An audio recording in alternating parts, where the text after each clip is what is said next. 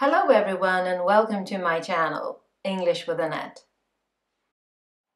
Do you find it hard to speak English? To get that first word or phrase out? Would you like to find those simple yet very effective ways of starting a conversation and keep it going? Well, I believe I can help you with that. In today's video, I'm going to show you a simple conversation with useful phrases for you to use over and over again to get you started feeling more comfortable and relaxed. If you like this video, please subscribe and remember to ring the bell so you don't miss out on new videos. If you have an idea for a video that you would like to see on this channel, please leave me a comment below. Oh, and be generous. Share the video. I really appreciate it. Thank you. At the preschool. You are dropping off your child at the preschool. Let's say you are dropping off your child at the preschool. One simple, yet very effective way of starting a conversation is with good morning. Now, first off, I'm going to read the lines and then I'm going to be the preschool teacher and you are going to be you. Good morning. Good morning. How are you? Very well, thank you. And you? I'm great, thanks. All right. Now you're going to read this with me. Go ahead. You can start. Good morning. How are you? I'm great, thanks. Good morning. Very well, thank you. And you? Very useful for everyday conversation. And of course, how are you? Let's continue. I will read the lines, and then you will read this with me, and you will be you. Where can I hang her coat? Of course, let me show you. Here are their hooks for their jackets and backpacks. What time will you be picking her up today? Now you start. Don't be shy. Of course, let me show you. Here are their hooks for their jackets and backpacks.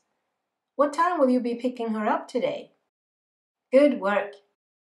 Hooks for jackets and backpacks. I would like to ask you if you've learned something through this video today. If you have, I would appreciate it if you would take a moment and give it a thumbs up. I really appreciate your help. Let's continue. I will pick her up at 3 p.m. this afternoon. Good. Now, what does she enjoy doing? We have Play-Doh and crayons, for example. Now you start.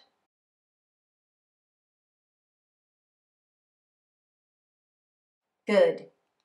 Now, what does she enjoy doing? We have Play-Doh and crayons, for example.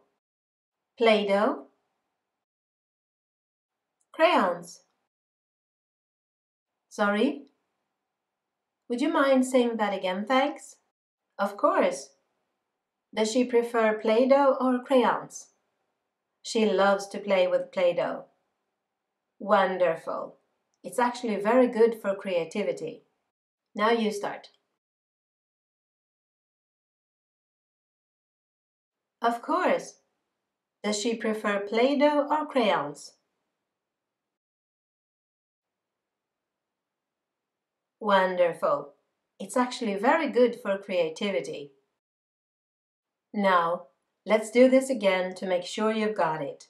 Remember, repetition is key in language learning.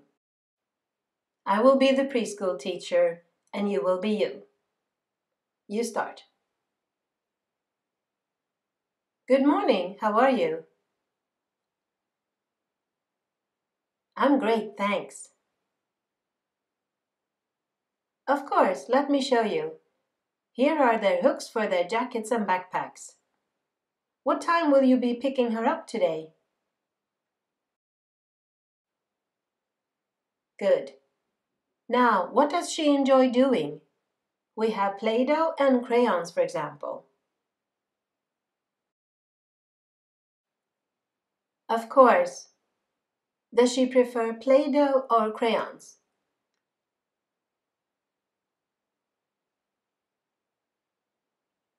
Good work.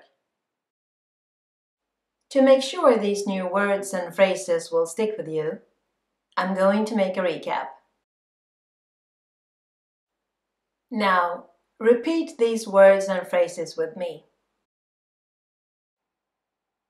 Good morning. Very well, thank you. And you?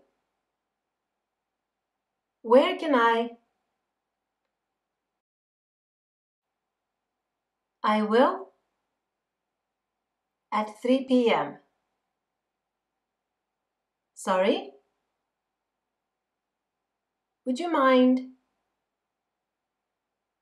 She loves to.